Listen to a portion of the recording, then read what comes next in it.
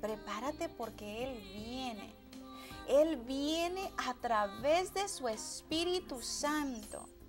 Él viene porque Dios es Espíritu y Él viene a través del Espíritu Santo para ayudarnos a vivir una vida abundante, una vida en victoria, una vida de reino que este mundo no conoce y que va a ser visto Jesús, que la gloria de Él va a ser vista a través de ti. Es lo que en realidad Él viene. Si le oyéremos nosotros, le diéramos lugar al Espíritu que Dios nos ha dado, ese Espíritu cuando es despertado, percibe al Espíritu Santo. Porque el Espíritu que Dios nos ha dado es de Dios y sabe lo de Dios y conoce lo de Dios porque es de Él. Entonces Él percibe cuando el Espíritu Santo viene. Y Él es el que te avisa, ahí viene, prepárate, ahí viene, ahí viene. Entonces cuando el Espíritu que Dios nos ha dado es despertado, Él percibe que el Espíritu Santo, y cuando el alma está inclinada al Espíritu que Dios nos ha dado, entonces el Espíritu Santo allí se va a quedar. Allí se va a quedar. Y Jesús, ¿verdad? Como dice la palabra en Juan 14, que Él rogará al Padre para que nos dé al consolador. Él va a venir como un bálsamo a consolarnos y a sanar las heridas profundas. Y va a comenzar algo nuevo en nosotros. Y nos va a libertar nos va a renovar y nos va a transformar. Es lo que Él va a venir a hacer. Entonces, como nosotros estamos inclinados al señorío de Él, Él no se va a querer ir. Él va a venir a ser morada en ese tabernáculo, en ese templo. Y donde Él hace morada, va a resplandecer la gloria de Dios en ese tabernáculo, en esa persona. Entonces eso es lo interesante. De que Él anuncia que Él viene. Entonces ya empezamos a caminar el Espíritu Santo llenando nuestra alma a través de nuestro espíritu, ya están en perfecta comunión, ya mi espíritu y el Espíritu Santo son uno, pero mi alma ahí está también. Entonces podemos entender el final de este libro sagrado de la palabra del Señor, cuando dice, el espíritu y la esposa dicen, ven Señor Jesús. Entonces sí es la venida del Señor cuando nos va a llevar. Pero es lo interesante del espíritu y la esposa. La esposa puede decir, ven, ven Señor Jesús, ven Señor Jesús por dolor, por angustia, pero cuando el Espíritu Santo despierta nuestro espíritu y nuestra alma se encuentra allí en medio, allí en medio está nuestra alma y el espíritu que Dios nos dio, el espíritu que el espíritu del Espíritu Santo se unen, nuestra alma está en medio y ya somos uno. Y somos uno con el Señor. Entonces empezamos a decir, ven Señor Jesús en amor, porque te amo, porque te deseo, porque tú eres mi esposo, porque yo soy tu esposa, porque tú eres mi amado. Y empiezas a decir, ven Señor Jesús, porque te amo, porque estoy enamorada de ti. Es cuando empezamos el, el pedir el espíritu y la esposa. Ya no pides por angustia, ya no pides porque ya no soportas vivir en este mundo, no.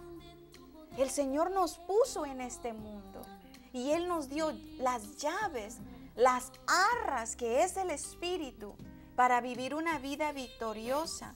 Porque cuando la mujer se va a casar con el esposo, no, no estás pensando tú para sufrir que te va a llevar a vivir, te va a sacar de la casa de tu mamá, te va a llevar a vivir para que sufras, para, porque va a ser de las suyas contigo y tú ahí no, no es eso, es piensas para vivir una vida feliz. Entonces si tenemos ese entendimiento en, lo humano, entonces nosotros lo podemos entender en lo espiritual. Pero ya cuando es en lo espiritual, ya es anulado el razonamiento y ya es anulada la lógica, sino que te lleva el Espíritu Santo a otra dimensión donde puedes ahora no solamente a anhelar la vida abundante, sino que la empiezas a vivir. Y la vida abundante no empieza por lo que yo poseo, por las riquezas que, tienes, por la cuenta en el banco, no. La vida abundante empieza adentro. Adentro empieza la vida abundante, porque Juan decía que él deseaba que nosotros fuésemos, él decía que nosotros seamos prosperados, pero en realidad es el Espíritu nos está diciendo, Jesús, yo deseo que seas prosperado, que tengas salud, que seas prosperado en todas las cosas, así como prospera el alma. Entonces el alma, cuando el alma empieza a vivir esa vida abundante, el alma es libre de pensamientos negativos, el corazón ya es libre, la conciencia ya es limpia, porque Él nos dice que nos acerquemos a Él con conciencias limpias. Entonces el alma, cuando el alma es llevada al trono de la gracia de Dios, ya no va por sí misma. El Espíritu lleva nuestra alma y la carne aquí se queda. Por eso hay muchos encuentros sobrenaturales donde tú miras que tú te sales y tú te miras ahí acostada. Porque el espíritu y la alma van juntas al trono de la gracia de Dios. Y el alma, en el alma va nuestra conciencia. Y entonces nosotros regresamos a este cuerpo y decimos, esto me pasó. Y tienes conciencia de lo que te pasó. Porque el espíritu lleva el alma. Para que tú mires otra dimensión en el espíritu. Cosas maravillosas. Cosa que ojo no vio, ni oído oyó son las cosas que Él tiene preparadas para nosotros, pero está hablando en una dimensión espiritual, cosa que ojo humano no ha visto y cosa que oído humano no ha oído. Porque cuando eres llevada a ver las cosas en esas dimensiones, es el ojo espiritual que le está enseñando a el alma y lo que oyes es el oído espiritual que está escuchando el alma y el alma trae por medio de la conciencia toda la información a este cuerpo y puedes testificar de lo que tus ojos miraron y de lo que tus oídos escucharon. Entonces, Pablo nos habla de cosas espirituales, de cosas maravillosas. Hermana es tremendo experimentar el amor de Dios y la misericordia porque y la paciencia que Dios tiene para nosotros, para eh, traer a nosotros esa revelación de que somos personas trinas, que tenemos espíritu, alma y cuerpo, cosa que en eh, tiempos pasados yo personalmente no entendía, escuchaba así somos trinos, pero yo no sé, estaba bien lejos de lo que era lo que, eh, lo que es lo que el Señor nos habla en su palabra acerca de la Trinidad y había mucha confusión en mi vida porque no tenía ese conocimiento, no tenía esa revelación. Pero el Espíritu Santo de Dios ha venido a hacer eso en estos últimos días a mi vida. Eh, me, ha me, ha costado tener que pedir perdón y arrepentirme y confesar muchas eh, faltas ocultas aquí en el corazón. Pero llegas al momento que ya no te importa, que ya no te importa, ay, sí, que piensen o que, porque es increíble, pero el qué dirán es algo que ata, a, mí me tenía atada, a las personas de una manera tremenda. Que tú quieres ser libre, que tú quieres conocer más allá, que tú quieres vivir una vida en plenitud. Y eso es lo que tu espíritu está gimiendo, pero tu carne dice no. Y como tu alma está inclinada a tu carne, así estaba la mía inclinada a mi propia prudencia, a lo que yo creía, porque estás inclinada a tu propia prudencia cuando dices, no, yo estoy bien. Eh, eh, eh, así son las cosas. Y el Señor, ir ahí necesitas cambios, ir ahí necesitas cambios. Pero con la alma inclinada a, la carne, pues yo decía, ¿qué cambio? Sí sabía, pero decía, entiendo, pero no, pues no podía actuar porque no sabía que se tenía que vivir una vida en el Espíritu. Yo, decía, yo me te decía ayer que yo me aprendí este versículo recién eh, convertida, de que eh, cuando estamos en Cristo Jesús las cosas son nuevas. Aquí las cosas viejas pasaron y aquí todas son hechas nuevas. Y así, así, todo es nuevo. Y luego de repente veía las mismas prácticas en mi vida y de repente pasaban círculos que se como que se aplacaban las cosas y volvía a brotar y decía, ¿cómo que todo es nuevo? ¿Cómo que todo es nuevo? Bueno, tengo poquitos días que lo acabo de entender, ese versículo que me aprendí hace años. Y es interesante saber que sí, cuando tú le dices, alma, es necesario que te inclines al Espíritu que, eh, de adopción que has recibido del Padre, por el cual puedes decir, Abba Padre. Inclínate a ese Espíritu que has recibido del Señor y sujeta la carne. Porque si Dios así lo estableció, eh, quiere decir que es posible. Amén. Y es que en realidad lo que, lo que verdaderamente la, la, el disfraz que le da la carne al alma es, le dice, me vas a hacer ver, no le dice me vas a, te vas a ver mal.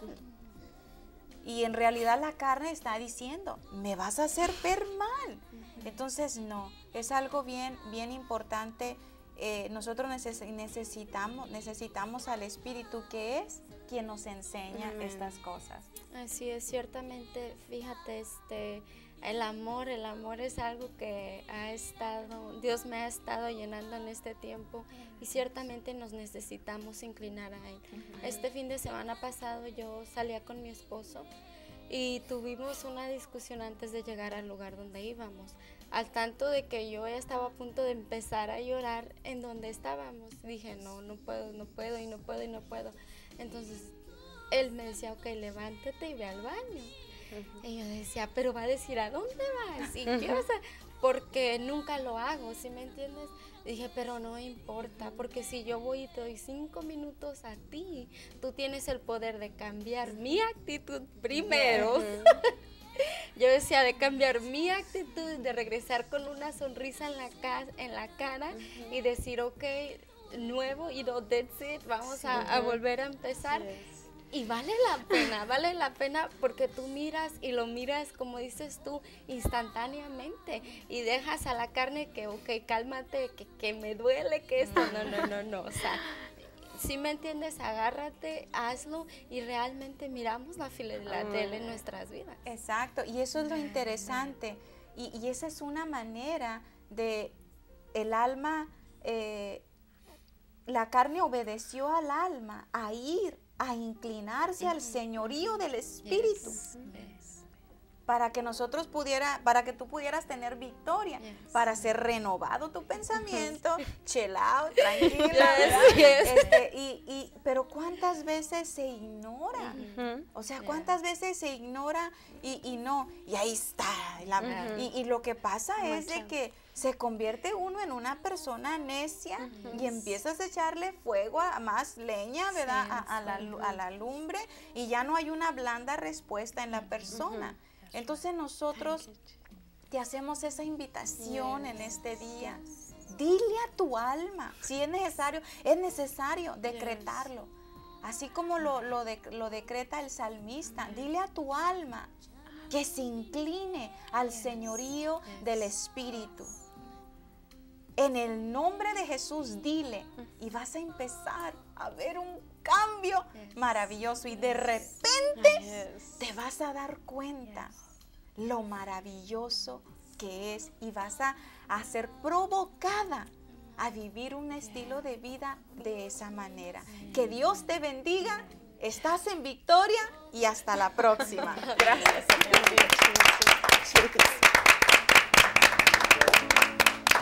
creo a Dios porque Él siempre dice la verdad, tan claro y puro como el manantial que fluye y aumenta mi fe. Yo le creo a Dios porque Él me habla con sinceridad, porque me ama sin nada esperar. Cuando me habla siento su poder. Yo le creo